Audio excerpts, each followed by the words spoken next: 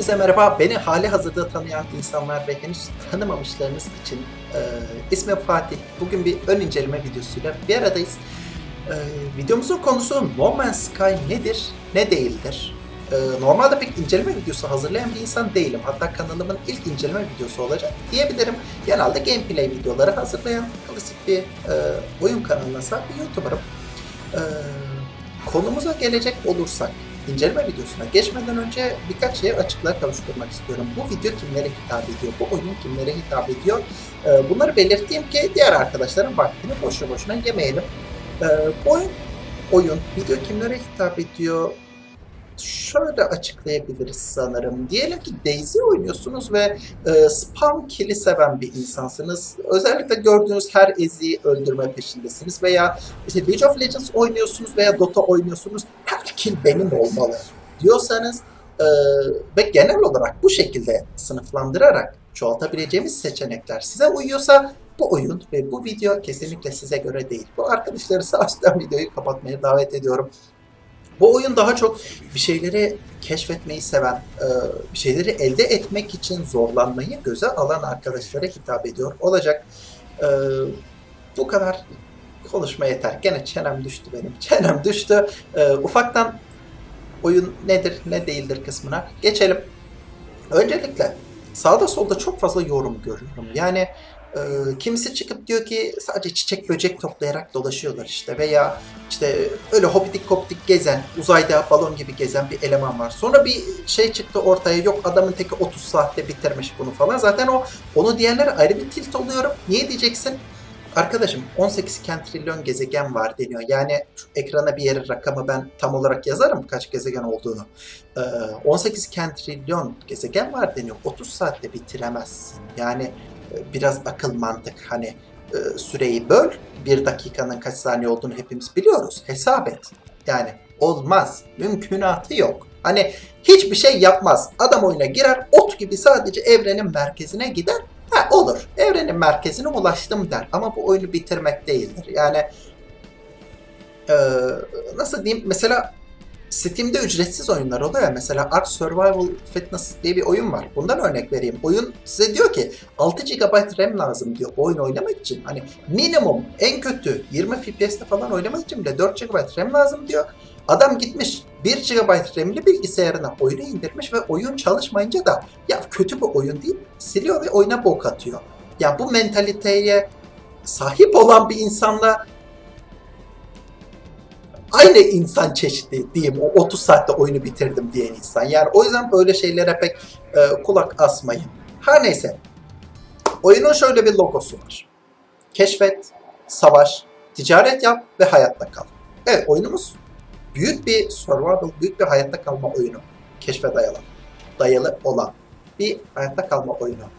Peki bu nasıl oluyor? Slogan üzerinden gidelim. Videomuz daha düzenli olsun diyeyim. İlk maddemiz keşfet. Ee, bu madde aynı zamanda en büyük kısmını oluşturuyor. Çünkü hayatta kalmak, savaşmak ve ticaret yapmak hepsi bu madde üzerinden yürüyor aslında. Yani mesela diyelim ki e, bir savaşa katılmak istiyorsunuz. Tamam mı? Bir görev geldi veya işte bir yerde olay gördünüz, uzay korsanları var veya büyük bir ticaret mal taşıyan bir filoya denk geldiniz.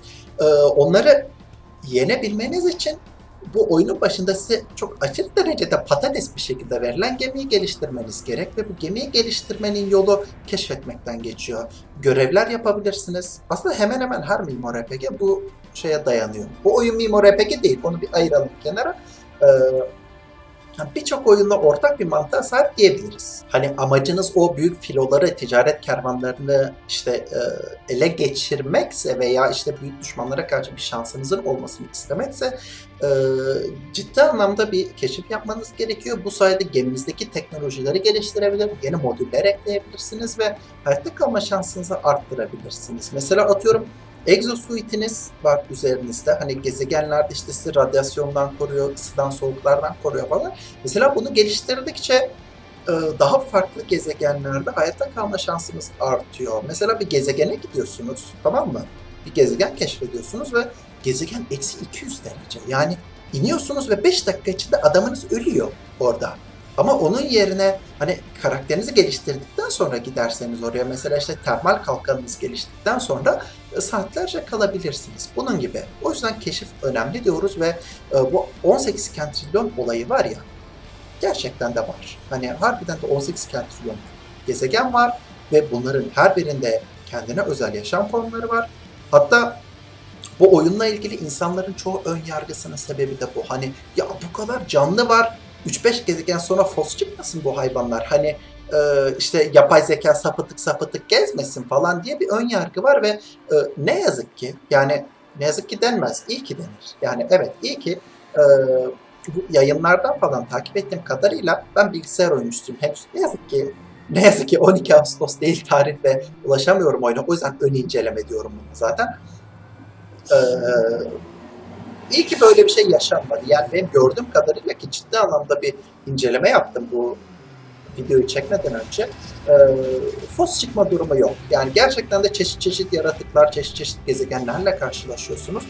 İlla ki benzeyen şeyler var birbirine. Yani işte bir yere gidip ha aman bu biraz Ceylan'a mı benziyor sanki falan diyebiliyorsunuz. Evet yani illaki böyle şeyler denk geliyor ve gelir. İnsanoğluyuz. Yani sonuçta biz yaratıcı değiliz. Hani olanı taklit ederiz.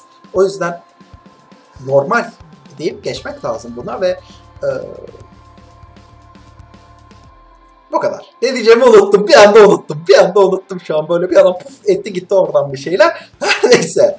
Ee, kısacası gerçekten de çeşitli yaşam formları var ve e, kısa vadede oyun sıkmayacak gibi duruyor. Hele ki böyle uzaya meraklıysanız vesaire ciddi anlamda güzel vakitler yaşatacaktır size.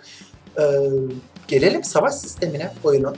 Atladığım bir nokta var mı keşifle ilgili? Yok. Zaten ufak ufak hani keşif desem de çeşitli maddelere değiniyorum. İlk maddeyi böylece geçiyorum ve ikinci madde savaş mekanikleri, savaş sistemi.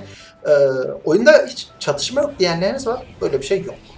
Böyle bir şey yok. E, sadece dün izlediğim çeşitli yayınlarda yayıncıları çok güzel patlattılar. Yani hani ciddi ciddi benzettiler. Ee, o yüzden size önerim. Oyuna ilk başladığınızda böyle etrafta işte çeşitli yaratıcı hayvanlar falan oluyor. Hani onlarla bile kapışmak zorken gidip uzaydakilere sataşmayın. Hani e, elemanın teki çünkü etrafında dolanan bir uzay gemisine saldırdı ve yapay zeka kendisine destek çağırdı. Bayağı bildiğiniz Warp Drive'da bir şeyler geldi ve haşat ettiler bunu ve oyunda şöyle bir şey var. E, öldüğünüz takdirde bedeli ağır olabiliyor. Mesela diyelim ki geminizi iyi kötü geliştirdiniz. Değerli ham maddeniz var içinde ve e, öldüğünüz takdirde bu çantanız oraya da kalabiliyor. Hani ve korsanlar o çantayı alıp giderse eldeki bulgurdan olabilirsiniz. Yani e, yaptığınız onca emek bir anda puf olup gidebilir. O yüzden gerçekten dikkat etmek gerekiyor. E, YOLO deyip dalmamak gerekiyor. Mesela atıyorum bir gezegende mağara buldunuz diyelim. Evet gezegenlerde yer üstü olduğu gibi bir de yeraltı sistemleri var. E, mağara buldunuz diyelim gittiniz. Hani e, aç gözlük edip fazla derinlere giderseniz hazırlığınız olmadan elinizde patlayabilir. Yani dikkat etmek lazım. Önce kendinizi geliştirin. Sonra savaşmaya çıkarsınız. E, madde 3. Ekonomi, ticaret. E, oyunda şöyle bir sistem var. Kendi para birimi mevcut.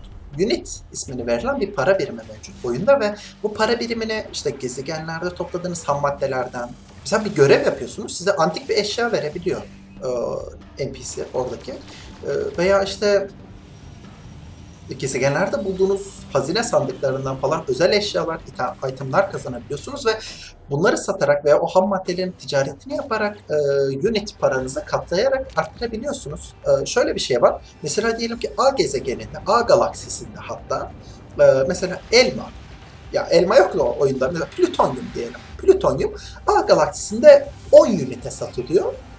O 10 ünite satılan arkadaş orada B galaksisinde 20 hatta 30 ünite satılabiliyor. Tabi 5 ünite de satılabilir şans. Yani o yüzden her maddeyi direkt bulduğunuz yerde satmayın. Orada e, genel bir galaksi e, ortalama fiyatı veriliyor size ve yeşildeyse ve yüzdesi yüksekse kardasınız. Kırmızıda ve gene yüzdesi yüksekse zarardasınız anlamına geliyor. Yani yeşildeyken satmaya dikkat edin onları. E, bu şekilde paranızı katlayabilirsiniz. Peki bu ne işimize yarayacak? Kendinize yeni silahlar, gemiler ve teknolojiler alabilirsiniz. Elinizde olan teknolojiyi hayata geçirmek için madde eksiklerinizi kapatabilirsiniz veya e, oyun yapımcılarından bazı açıklamalar geldi. Oyunu ciddi anlamda şu an olduğundan çok daha ileriye taşıyacaklarını söylüyorlar ve gelen patch notlarına yani e, yapacaklarını vaat ettikleri şeylere okuduğumda gerçekten oyunun çok daha güzel yerlere geleceğini şüphe yok. Yani kendi uzay istasyonunuzu kurmaktan e, tutun kendi büyük devasa gemilerinizi inşa etmeye kadar oyuna ekleneceği söyleniyor ve şu anda oyunda e, tam bir online sistem bulunmasa da yani oyun online gibi ama değil gibi de. Yani biraz meşakkatli o konu. Bakalım hele bilgisayar sürümü de gelsin. Ondan sonra e, zaten oyunun gameplay serisine kanalımda başlayacağım. E, oradan takip edebilir ve daha ayrıntılı konuşabiliriz bu konuyu online konusunu. O yüzden şimdilik girmiyorum ona. E, bu tarz şeyleri para hazırlığı yapabilirsiniz diyelim ve geldik hayatta kalmak konusuna. E, oyunun sanırım keşiften sonra en önemli maddesi bu. Hayatta kalmak. Çünkü ne dedik? Ölürseniz bedeli ağır olabiliyor. Ee, bunun yanında hani e, canlılar ve çeşitli uzay gemileri dışında da sizi tehdit eden unsurlar var etrafta. Gezegenlerde bulunan e, çevre ve hava şartları var. Ve bunlar aktif bir şekilde değişkenlik gösteriyor. Mesela bir gezegene günlük güneşlik indiniz diyelim. Aa ne güzel etraf. Dolanıyorsunuz sahil. Dediniz biraz şu sularda yüzeyim işte mekanın tadını çıkarayım falan. Ee, bir baktınız gemi arkanızda kalmış. Uzaklaşmışsınız gemiden. Bir anda bir fırtına çıkabilir ve sizi telef edebilir. Yani bunlara dikkat etmek gerekiyor. Allah'ım gene ışığım gitti. Allah'ım ışığım gitti. Gündüz vakti kayıt yapmanın en büyük zararı. Ne diyeyim? Neyse artık böyle idare edin kusura bakmayın. Ee, fırtına çıkabilir, telef edebilir veya bir gezegene indiğinizde ağır radyasyonla veya zehirli bir ortamla karşılaşabilirsiniz. Bunlar hoşunuza gitmeyecek şeylere sebebiyet verebilir. Yani yol tarzıyla gezmek pek hayra alamet olmayabilir bu oyunda. Ee, bunun dışında bahsetmemiz gereken bir şey var mı oyun hakkında?